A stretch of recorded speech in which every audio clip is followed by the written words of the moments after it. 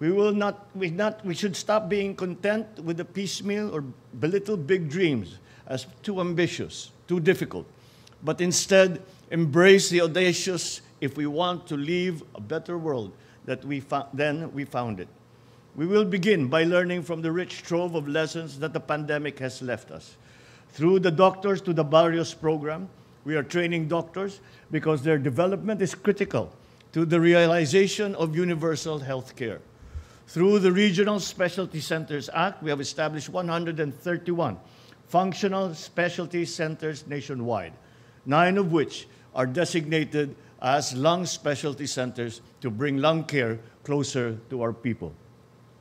By 2028, we aim to establish an additional 179 specialty centers, seven of which are dedicated as lung care centers.